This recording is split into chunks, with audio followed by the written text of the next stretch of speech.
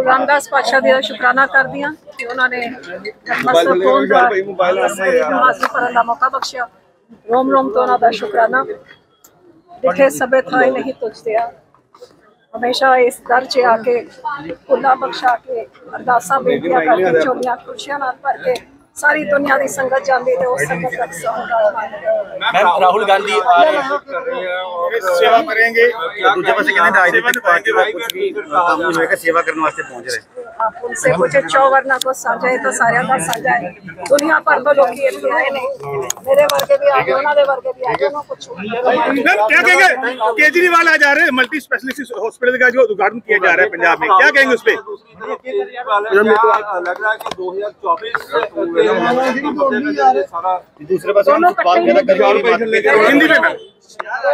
2013 ਵਿੱਚ ਵੀ ਕੇਜਰੀਵਾਲ ਨੇ ਕਾਂਗਰਸ ਦੇ ਨਾਲ ਰਲ ਕੇ ਹੀ ਸਰਕਾਰ ਦਿੱਲੀ ਵਿੱਚ ਬਣਾਈ ਸੀ ਤੇ 13 ਤੋਂ ਲੈ ਕੇ 23 ਤੇ ਇਕੱਠੇ ਹੀ ਰਹੇ ਨੇ।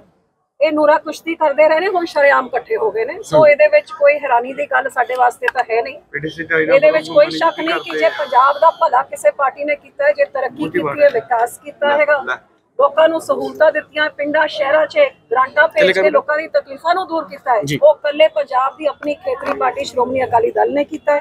ਜਿਨ੍ਹਾਂ ਨੇ ਡਟ ਕੇ ਇਸ ਸੂਬੇ ਦੇ ਹੱਕਾਂ ਦੀ ਰਾਖੀ ਵੀ ਕੀਤੀ ਤੇ 18 ਸਾਲ ਬਾਦਲ ਸਾਹਿਬ ਨੇ ਕਹਿਦਾ ਵੀ ਕੱਟਿਆ ਸੂਬੇ ਦੇ ਹੱਕਾਂ ਦੀ ਰਾਖੀ ਵਾਸਤੇ। ਕਾਂਗਰਸ ਦੀ ਤਰ੍ਹਾਂ ਨਹੀਂ, ਜਿਨ੍ਹਾਂ ਨੇ ਅੱਜ ਜਿਹੜੇ ਨਤਮਸਤਕ ਹੋਣ ਵਾਸਤੇ ਆ ਰਹੇ ਨੇ, ਜੀ ਜੀ ਆਇਆਂ ਨੂੰ, ਉਹਨਾਂ ਨੂੰ, ਲੇਕਿਨ ਉਮੀਦ ਕਰਦੀ ਹਾਂ ਇੱਥੇ ਆ ਕੇ ਯਾਦ ਜ਼ਰੂਰ ਕਰਨਗੇ ਕਿ ਕਿਹੋ ਜਿਹਾ ਕੁਫਰ ਉਹਨਾਂ ਦੀ ਦਾਦੀ ਜੀ ਨੇ ਇੱਥੇ ਕੀਤਾ ਤੇ ਕਿਹੋ ਜਿਹਾ ਉਹਨਾਂ ਦੇ ਪਿਤਾ ਜੀ ਨੇ ਇਸ ਕੌਮ ਦੇ ਉੱਤੇ ਕੀਤਾ, ਇਹ ਵੀ ਧਿਆਨ ਰੱਖਣ। ਤੇ ਨਾ ਹੀ ਉਹ ਕੇਜਰੀਵਾਲ ਆਮ ਆਦਮੀ ਪਾਰਟੀ ਜਿਨ੍ਹਾਂ ਨੇ ਪੰਜਾਬ ਨੂੰ ਹਰ ਤਰੀਕੇ ਦੇ ਨਾਲ ਵੇਚਣ ਦਾ ਫੈਸਲਾ ਕਰਤਾ ਹੈਗਾ। 1 ਲੱਖ ਕਰੋੜ ਦਾ ਕਰਜ਼ਾ ਪੰਜਾਬੀਆਂ ਦੇ ਉੱਤੇ ਕਾਂਗਰਸ ਲੁੱਟ ਕੇ ਖਾ ਕੇ ਤੁਰ ਗਈ ਤੇ ਇਹਨਾਂ ਨੇ ਡੇਢ ਸਾਲ 'ਚ 50000 ਕਰੋੜ ਦਾ ਕਰਜ਼ਾ ਲੈ ਕੇ ਇਹਦੇ ਬਾਵਜੂਦ ਅਜੇ ਵੀ ਨਹੀਂ ਇਹਨਾਂ ਦੀ ਢਿੱਡ ਭਰਿਆ। ਹੁਣ ਇੱਕ ਨਵਾਂ ਜਹਾਜ਼ ਖਰੀਦ ਰਹੇ ਨੇ। 600 ਘੰਟੇ ਉਹ ਜਹਾਜ਼ ਕਿੱਥੇ ਪੰਜਾਬ 'ਚ ਫਿਰੂਗਾ? ਇਹ ਤਾਂ ਕੇਜਰੀਵਾਲ ਦੀ ਸਿਆਸਤ ਚਮਕਾਉਣ ਵਾਸਤੇ ਪ੍ਰਧਾਨ ਮੰਤਰੀ ਦੇ ਸੁਪਨੇ ਪੂਰੇ ਕਰਨ ਵਾਸਤੇ ਦੇਸ਼ ਭਰ 'ਚ ਕਰਜ਼ਾਈ ਪੰਜਾਬ ਹੋਊਗਾ ਸੋ ਪੰਜਾਬ ਦਾ ਹਰ ਹੱਕ ਨੂੰ ਕਮਜ਼ੋਰ ਕੀਤਾ ਭਾਵੇਂ ਸਾਡੀ ਰਾਜਧਾਨੀ ਦੇ ਉੱਤੇ, ਭਾਵੇਂ ਸਾਡੇ ਪਾਣੀਆਂ ਦੇ ਉੱਤੇ, ਸਾਡੇ ਬੱਚਿਆਂ ਦੀ ਨੌਕਰੀਆਂ ਬਾਹਰਲਿਆਂ ਨੂੰ ਮਿਲ ਰਹੀ ਹੈਗੀ।